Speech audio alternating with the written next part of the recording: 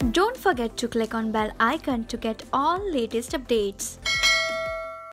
बॉलीवुड अभिनेत्री सोनाली बेंद्रे 1 जनवरी को अपना जन्मदिन मनाती है फ़िल्मों में आने से पहले सोनाली ने मॉडलिंग के क्षेत्र में काफ़ी नाम कमाया था। 19 साल की उम्र में सोनाली की पहली फ़िल्म आग रिलीज़ हुई थी। इस फ़िल्म के लिए उन्हें फ़िल्म फेयर का new face of the year का अवार्ड भी मिला था। 1996 में सोनाली की फ़िल्म दिल जले रिलीज़ हुई थी। इसमें उनके साथ अजय देवगन थे। फ़िल्म सुपर हिट रही। इसके बाद सोनाली की कई फ़िल्में आई जो सुपर हिट रही थी। इनमें सुनील शेट्टी के साथ भाई, आमिर के साथ सरफरोश और शाहरुख के साथ डुप्लीकेट में उनके किरदार को काफ़ी पसंद किया गया। साल 2018 में पता चला था कि सोनाली को कैंसर है। कैंसर का इलाज करने के लिए वे न्यूयॉर्क गई जहाँ कुछ महीनों तक उनका इलाज चला। सोनाली कैंसर के इलाज के दौरान समय समय पर सोशल मीडिया के ज़रिए अपने फ़ैन से जुड़ी रही।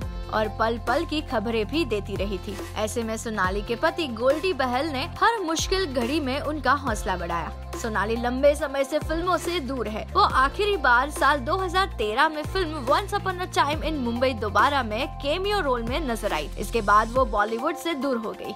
Bureau report Indian film history. For more interesting and updated Bollywood news, please subscribe Indian Film History YouTube channel.